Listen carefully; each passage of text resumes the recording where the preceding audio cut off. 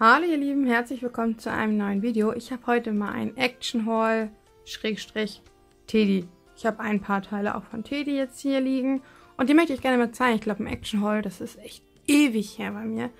Und es gibt auch noch zwei Besonderheiten, die werdet ihr jetzt im Laufe des Videos erfahren. Wir fangen jetzt aber erstmal an mit den Sachen von Teddy. Da haben wir das nämlich schon mal abgearbeitet.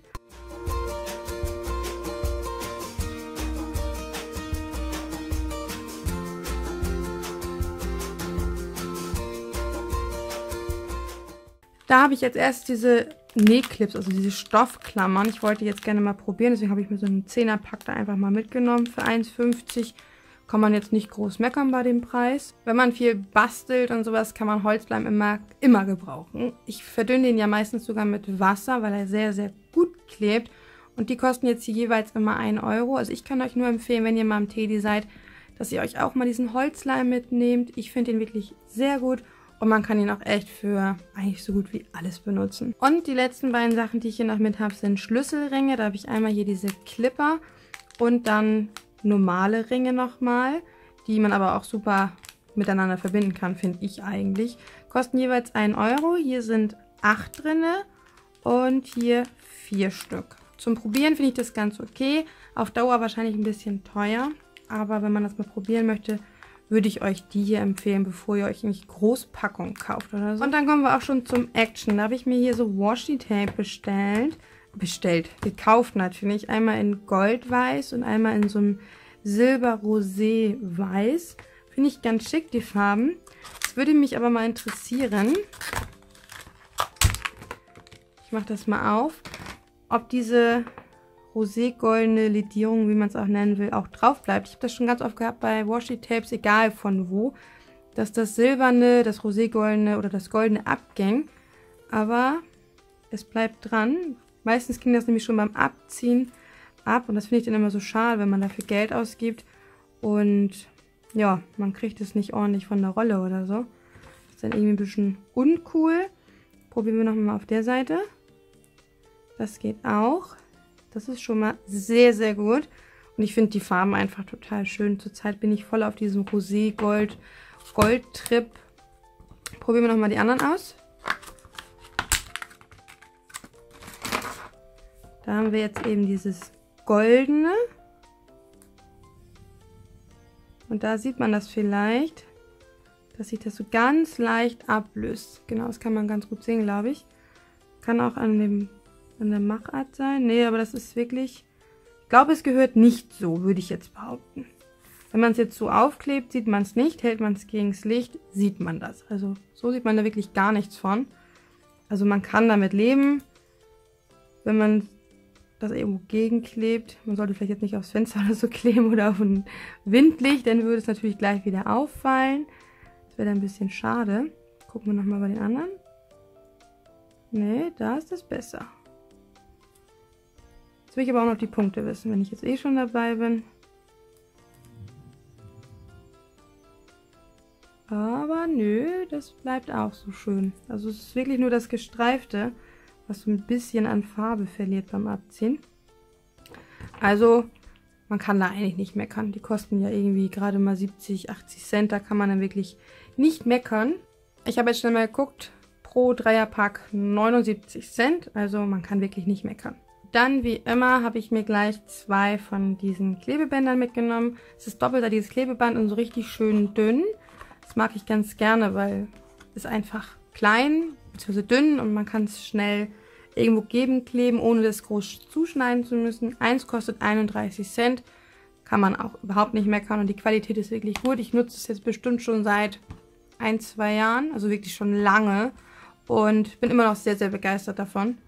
Dann habe ich mir Knöpfe mitgenommen. Das sind immer 152 Stück für 89 Cent die Tüte. Einmal in grau-schwarz und einmal in so verschiedenen Grüntönen, die ich sehr, sehr schön finde, wie man gerade an meinem Nagellack auch sieht. Mal so ganz nebenbei erwähnt. Die möchte ich gerne ähm, für ein DIY-Projekt haben, wofür es auch ein Video geben wird. Und deswegen dachte ich mir, es ist ganz schön, wenn man gleich so richtige Farbgruppen immer hat. Man hat dann nicht so ein, von jeder Farbe ein bisschen, sondern wirklich nur so eine Farbe eine Farbe in verschiedenen Abstufungen und das gefällt mir sehr gut und deswegen habe ich da gleich vier Stück von mitgenommen. Dann einmal so zum Mitnehmen Papierklammern für 59 Cent. Da sind jetzt ein paar Stück drin. Ich weiß gar nicht wie viele. Zwölf sind da drin. Die nutze ich manchmal zum Beispiel auch fürs Nähen. Ähm, wenn ich keine Stoffklammern habe, bis gerade eben habe ich keine besessen, deswegen habe ich die auch immer ganz gerne genommen. Und habe mir jetzt einfach nochmal als Ersatz nochmal so ein kleines Gläschen hier mitgenommen. Sind natürlich auch ganz cool, man kann die auch super für Fotos nehmen, um die an die Wand zu bringen.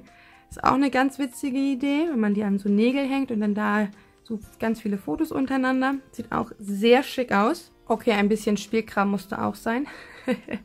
das sind Radiergummis. Vier Stück, könnt ihr hier sehen. Kosten 79 Cent, also man kann da jetzt nicht groß meckern, aber ich fand die so witzig. Und wenn ich sie mir nur auf den Schreibtisch stelle, finde ich sie cool. Und deswegen mussten die einfach mit. Die gab es auch in drei verschiedenen Varianten, glaube ich. Und in rosa haben sie mir einfach am besten gefallen. Dann haben wir hier zwei Bastelblöcke. Kosten jeweils 1,54 das Stück. Und da sind 24 Bilder drin. Ich finde sehr schön. Man kann da so ganz toll jetzt auch so für, für den kommenden Herbst eigentlich schon so tolle ähm, Teelichthalter mit basteln.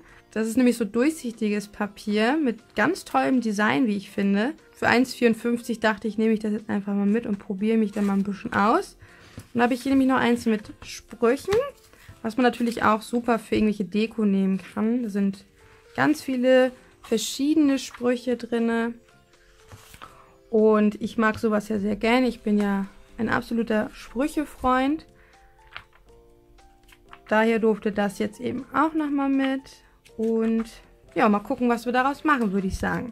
Die allseits bekannten Heißklebepistolen-Sticks für 99 Cent sind jetzt hier 10 Stück drin. Ich bin ja ein absoluter Heißkleber-Junkie. Also ich muss es ehrlich zugeben, ich klebe so viel mit Heißkleber, dass ich echt einen guten Verbrauch habe. Aber ich bin auch wirklich total begeistert von Heißklebern. Deswegen mussten jetzt mal wieder neue Ersatzpatronen mit. Die sind jetzt ein bisschen gelblich. Finde ich nicht schlimm. Also meistens sieht man das ja eh nicht, ähm, wo geklebt wurde. Und wenn ich jetzt wirklich was mache aus richtig Heißkleber, so wie ich habe mal Frühlingsdeko-Anhänger gehängt, mal gucken, ob ich dran denke, dann verlinke ich euch das hier. Da habe ich natürlich darauf geachtet, dass ich richtig durchsichtigen habe, beziehungsweise dann ist er ja so, so gräulich. Dann sieht er eben so hier aus und dafür würde ich dann eben eher den hier nehmen.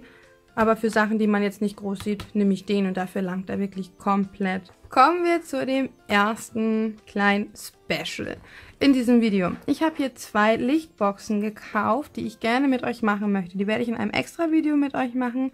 Dann können wir das zusammen aufbauen. Und eine davon werde ich an euch verlosen. Ihr, würdet, werdet, ihr werdet also eine davon bekommen. Ich weiß noch nicht, welche ich mir mache. Ich denke mal, ich werde die für mich nehmen. Und die hier werde ich dann verlosen. Da sind dann verschiedene Sprüche hier drin. Drei verschiedene. Hier auch. Und es soll alles dabei sein, damit es am Ende nachher so aussieht. Ich kann es euch nicht sagen. Es ist das erste Mal, dass wir das denn jetzt so machen werden.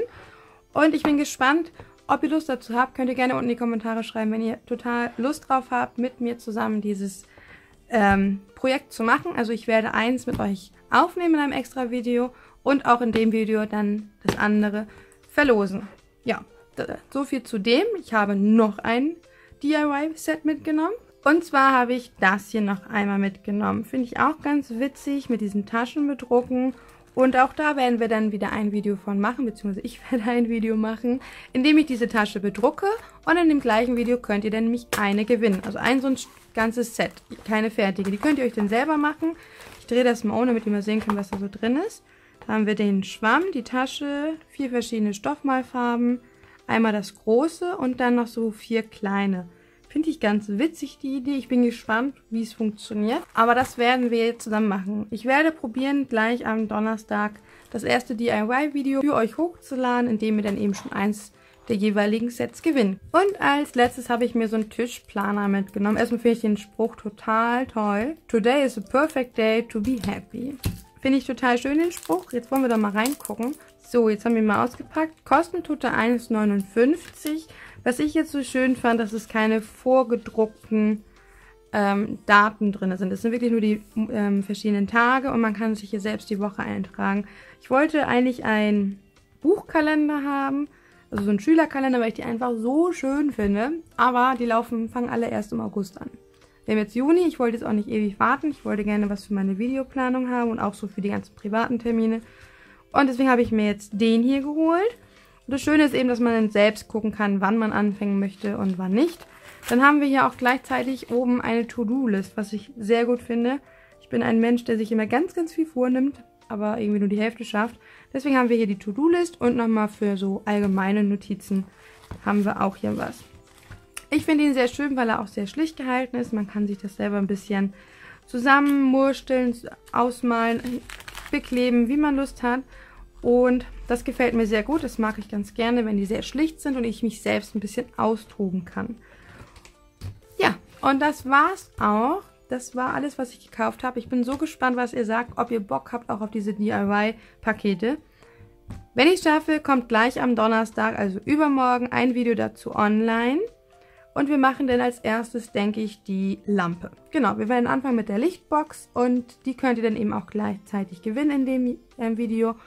Und dann sage ich danke fürs Zuschauen und freue mich aufs nächste Video mit euch. Tschüss, ihr Lieben!